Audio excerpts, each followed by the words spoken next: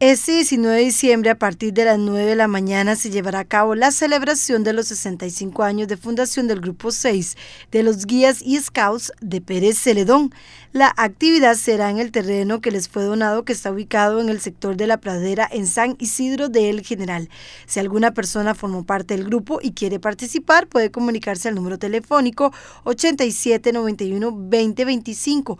El grupo está conformado en este momento por unos 100 miembros. Fue fundado el 10 de noviembre de 1956 y tantos años después se logra dar un paso importante al contar con la propiedad que fue donada por la municipalidad de este cantón.